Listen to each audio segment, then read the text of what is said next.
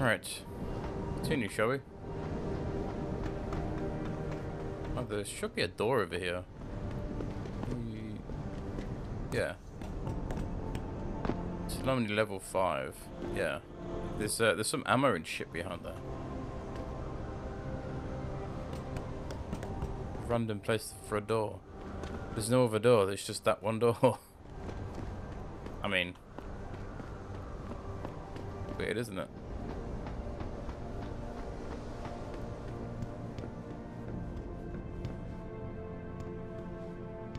Okay, so I think we have to do another speech check.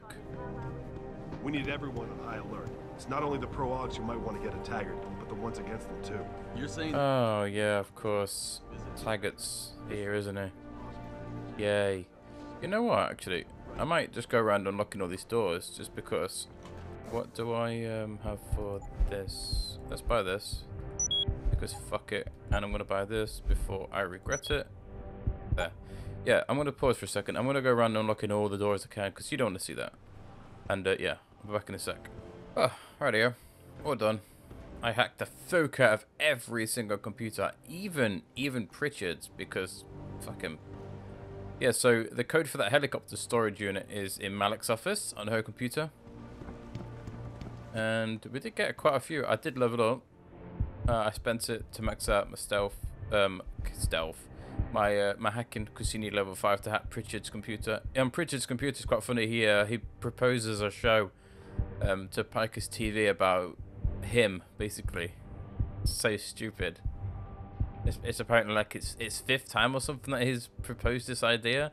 It's just like, dude, man, he wants a TV show based on him. It's like, think it's think he is the main character? Twat. Anyway, uh, we're here to talk to Pritchard. This is this is in fact a side quest you can miss. That bit comes into play when you come back uh, later on.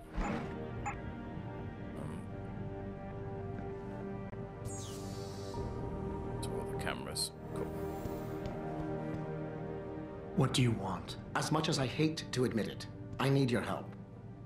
That signal you shut down in DRB territory. It's been active for almost a year. You're telling me someone outside this company has had access to our network since before the first attack? I've detected intrusions before and shut them down swiftly every time.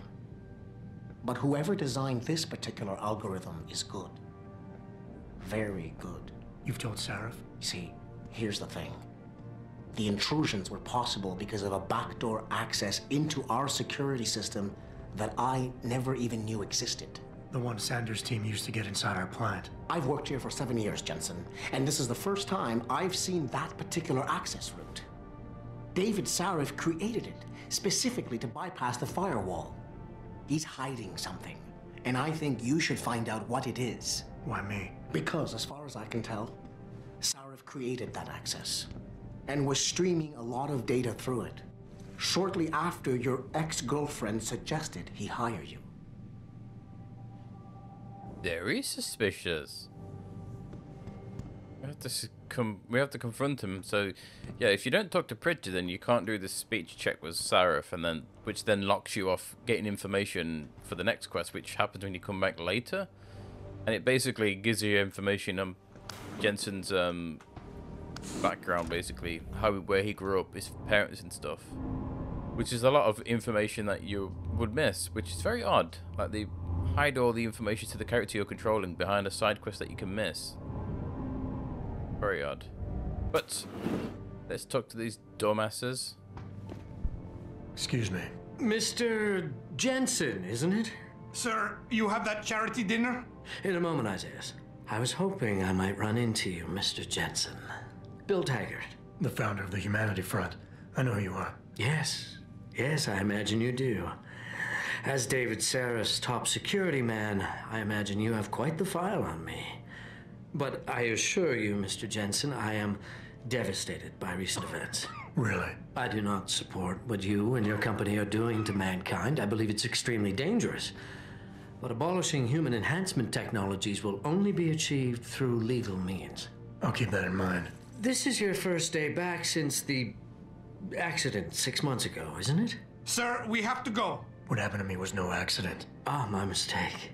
But it Must have been stressful facing down a second incident so soon. I imagine it brought back all kinds of unpleasant memories. This guy's a twat. I'm gonna stay cool because it's it's so annoying. You know what? Fuck it. My memories are none of your damn business. My memories are none of your damn business, Taggart. Did I hit a nerve? Forgive me. It's my nature as a psychologist, I suppose, to want to ask the difficult questions. You see, I find that ignoring them doesn't make them go away. You might want to keep that in mind. Now, if you'll be so kind as to excuse me. Uh, yeah. Gladly. I really don't like talking to William Taggart. It's, like, I don't like talking to hardly any people in this game. They're all stuck up twats. This guy's a dumbass. And the reason I want to talk to Sandoval because if you remember when we um when we in fact do we even have that email now? There was a um there was a an email we got. I think it was in the police station. No, I don't I don't think we can. Um Let me try and find it. There we go. Yeah, this th this here talks about Zeke Sanders. You know, Agato Ezekiel Sanders. So this guy, he got I think he got augs after he was injured in um in the military, left eye tattoos and stuff. And he had him removed because he went a bit crazy and started injuring 13 people. Right, remember that. What's this guy's second name? You're Taggart's aide, aren't you? Dr. Isaiah Sandoval, isn't it? No need to play ignorant, Mr. Jensen. I am quite sure you have a file on me that's as thick as the one you have on Mr. Taggart. You're an outspoken activist in your own right, Dr. Sandoval. When you have seen the things that I have, you find you have no choice but to stand up and be counted. that guy in the background. Surprised an ex Look at that tash. isn't more disturbed by the dangers of this technology. Augmentations help a lot of people, Doc. Handicapped, war vets. Yes, but at what cost? My own friend had his life ruined by these so-called enhancements of yours. A man much like you who had no choice but to become augmented. Yet once he was, too much power can make you do terrible things, Mr. Jensen. I suggest you think long and hard on that. Yes, I'll just have all of my augments removed and become dead. Yes. So yeah, ask about his his friend. We don't know who his friend is now. Surely not. Um, surely you do. I'd like to hear more about your friend, Dr. Sandoval. What exactly did he do? Nothing. Was he injured in the Gulf? He went on a rampage in a shopping mall, if you must know, hoping to be gunned down by the police rather than face a lifetime battling augmentation addiction. He was addicted to augments? They don't talk about it in those corporate brochures of yours, do they? Neuropozyne dependency, rejection psychosis, any number of physical and psychological ills have resulted from this technology, and yet we rarely hear a word about them. I'm sure the literature is out there. No thanks to the throng of corporate lawyers attempting to stop it. Your friend, did he succeed? Did he suicide by cop? No. Bill Taggart talked him down. Yeah, so his his his his friend. Yeah, Zeke's his brother basically. That's, and he's talking about Zeke went to the shopping mall and tried to get killed by a cop because he was addicted to augments. Well, not augments, but neuropozyne. I mean, I don't I don't know how obvious it is, but his second name's Sandoval, the same as Zeke's, and he talks about a friend going to the shopping mall and Zeke's file in the police station states he was stopped and after injuring 13 people. You know? The more you know. You've been at this company a long time. I hope that's not a comment about my age, Adam. No. But I know nothing gets by you. If Sarif had done something that could compromise us, Mr. Sarif has only the best interests of this company in mind, Adam. I'm not questioning that. Aren't you? I've been here since the beginning. I've seen how he built this up from nothing. He cares for his people. He truly believes what we're doing is important, and he would never do anything to jeopardize it. I shouldn't have brought it up. No, you shouldn't have. Now, if you'll excuse me, I'm busy. Wow. Somebody's got a stick up their ass. You know what you need? You need to have that stick removed, you stuck up bastard. Actually, actually, Mr. Sarif is much more dirty than you fucking think he is, darling. What a what a what a stuck-up cow.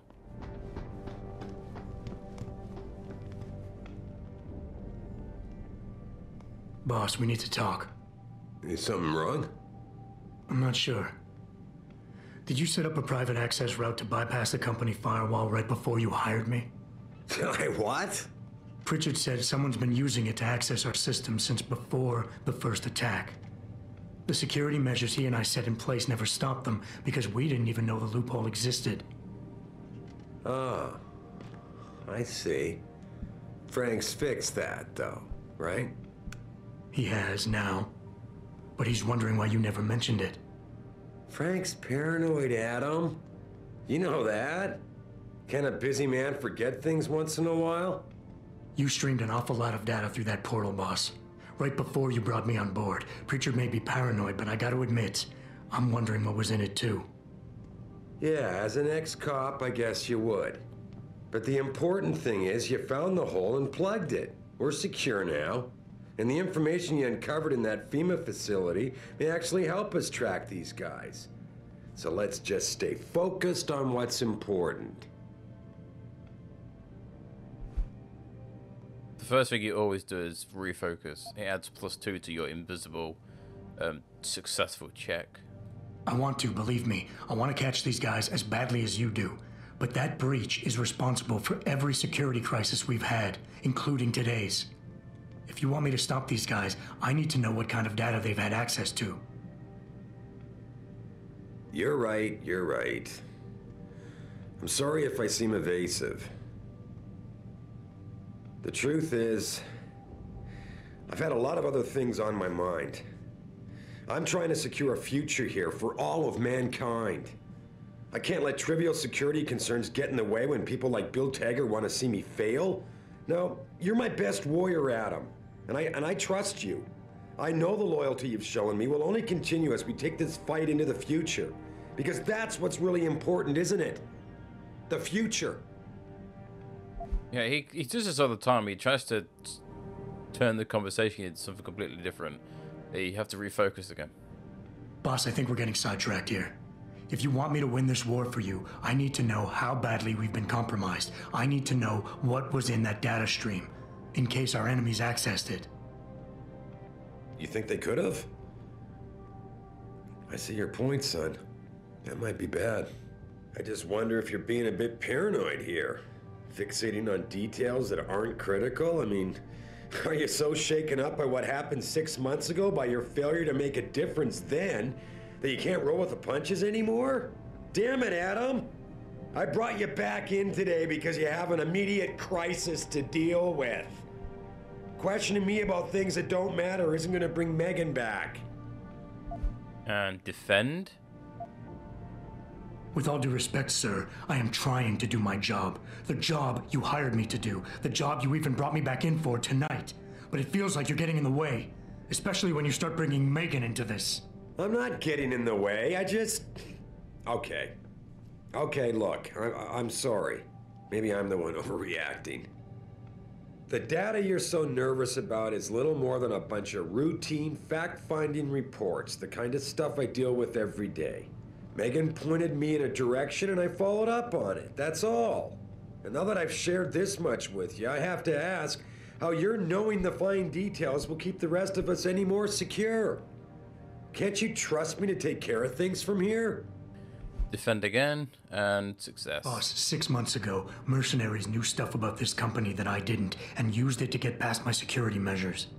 I don't really care what kind of secrets you and Megan were keeping back then. I just want to make sure they don't endanger us again. Adam, I didn't mean to imply.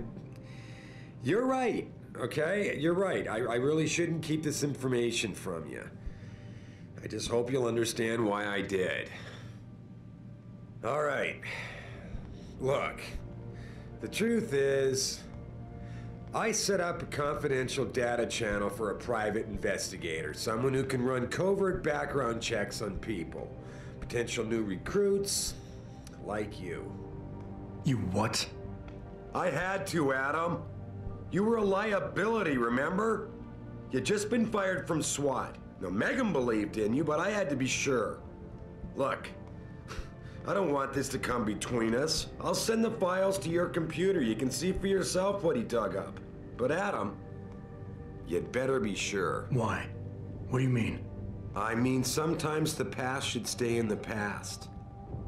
Once you see that data,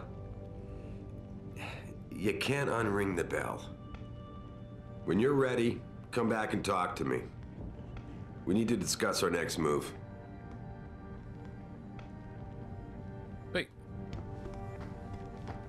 Oh, I got that 2000 XP. Got a thousand just for asking what was on his computer. Nice. So you can skip stage four if you have um, the CASIE. You can use pheromones and it instantly finishes it on round three. But I don't have CASIE because I refuse to buy it. You, you, you don't need it. You really don't. It's like it's basically it's two points that you're just spending into into something you hardly ever use. So it's not really worth it. Yeah, so all these informa emails that you get here are um just yeah, so his parents aren't my birth parents. That's basically the mother was sterile according to these old medical records. Instead carries no phenotypes either. Mother Margie. Arthur. Adam. That's, yeah, so this is this this information here is all Yeah, it's it Adam's background isn't really it doesn't add anything to the story for me personally. It, it, you you don't need to know his background because it doesn't really it doesn't it doesn't do anything to the story, you know? So yeah, it's it's it's the same as um as Megan's background. You know, you, you don't you don't need to know where they came from or where they grew up. So basically, his mom and his dad, or his foster parents, worked at the White Helix Labs to pay for his wife's or his mom's medication.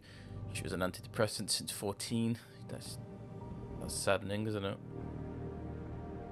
Uh, White Helix Labs burned down. All its files were lost. So they worked for a lab that was burnt down, ran you know mysteriously, and uh, and then all of a sudden Adam popped out of existence, which is quite funny. So here's the thing: one minute Adam doesn't exist, and the next the Jensens have themselves a bouncing and healthy five-year-old. That's when they pull their vanishing act. Um, Jensens had tried adopting kids for several Michigan agencies, but Margie was deemed unfit as a parent. Next thing you know, they have Adam. Yeah, that's very suspicious. I mean, I guess being on antidepressants, you're not exactly in a state that you can look after a child, are you? Which is sad. It's, yeah. Makes, makes my heart hurt. I know that feeling. Um, and this is about his psych evaluation from SWAT, why he was discharged or fired for being. Yeah, so basically, he's like, whoever wrote this obviously hated Adam, and apparently he um he has problems with authority figures, disregard for chain of command, anger management issues, and potential PTSD. Um, and this guy's like, here's the thing, the evaluation reads out of fiction. I'm thinking a pissed off superior wanted Jensen off the force and had the evaluation worded like like just cause.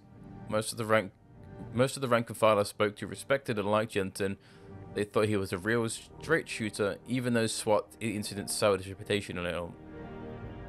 Still, even my source liked him enough to want to keep his psych evaluation buried. Wow. So whoever wrote that letter is a dickhead. Or whoever you know, again, this doesn't really play into anything because this is to do with Mexicantown massacre. But again, you don't know anything about it now. This is it. He was obviously set up for some for some reason. I mean, he did refuse to shoot a 15-year-old boy, and then it went on to Wayne, and then Wayne shot him, and then old Wayne's like, "Oh, I'm super depressed." But yeah, again, it's I've never really cared for the Athena information. Tells me you spoke to Sarif. It's meh. Did he happen to tell you why he made us look like idiots? I'm handling it. You can imagine how relieved I am to hear that. I'll tell you what. While you follow any lead Sarif spoon feeds you, I'm going to do what I should have done in the first place and backtrace that signal. That's your pride talking. Still, get back to me if you find something. You meant when? Pretty sure I didn't. So, this whole reading, yeah, if you don't read the information on the computer, you can't get the next quest. The next quest isn't until you come back later in the story. Basically, you come to Detroit twice. This is the first visit, and then you come back later on for a second visit, and then it triggers. Um, what was the side quest called for this? I didn't. Uh, Um. Oh, it's not here. That's weird.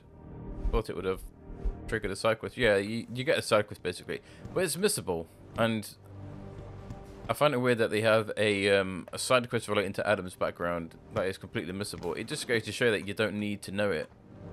Otherwise, they would have added it in the story. But you know, you you don't need to know where Adam came from. I mean, it is very suspicious that he has like 100% well, no, no not 100 percent. He has he has his augments don't get rejected basically. He should be on neuropozyne, but for some reason his his augs take to his body better than everybody else. In fact, he has no rejection, which is is that her little bag?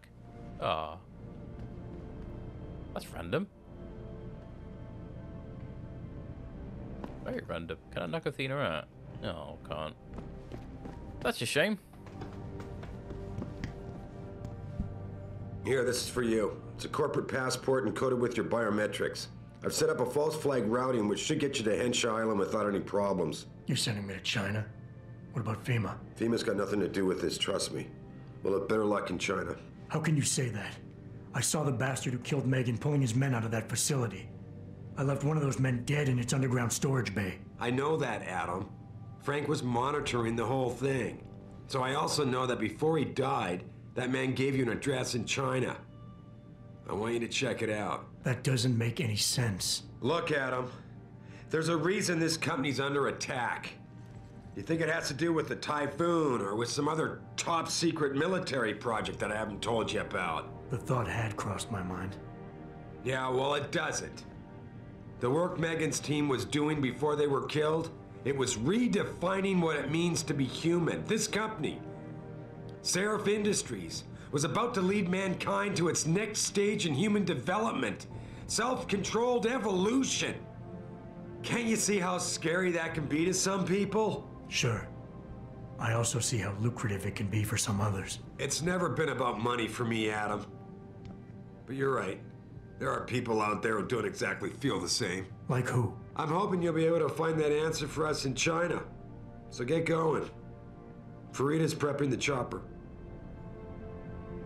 Another thousand XP. Nice. I always find it weird though, like, um. I forgot what I was to say. Oh, yeah, he's he talks about self. self evolution, which.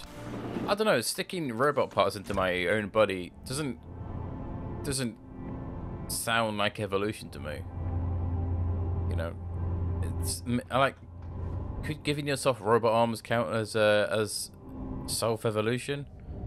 Surely an evolution should be more biochemical than instead of biomechanical. Sounds about right. I use two words that I've uh, not used in my vocabulary for a long time. Yay, go me. Yeah, I, I, don't, I don't see how sticking robot parts into your counts as evolution. You, you're not evolving, you're just upgrading. I mean, I don't have robot legs. I don't, think I would like robot legs. Anyway, just get the fuck out of here. Jensen, the boss said you were on your way. You're gonna love Hengsha. You've been there? Probably I not. live there. I spent three, maybe four years. It's a working shithole. City, and most of my nights having fun in the lower one. You ready to go? Uh, yeah. I thought I was. How long is this gonna take, Malik? You mean the flight or the fun afterward? Don't worry, we'll be there before you know it. Yeah, when you click um, ready to go, it tells you if you have unfinished side quests, they will be cancelled. So before you forward to Hengsha, you have to do the side quests or you can't finish them. I don't know why I'm watching this.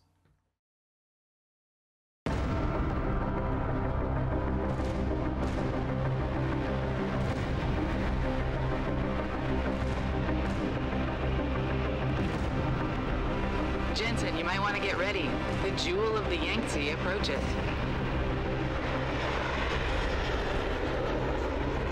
Son of a bitch. I'm supposed to find answers in that. Hey, twice the scum and half the space. Hang on, we're going in. The address you got off that Merc, Hengshaw Court Gardens?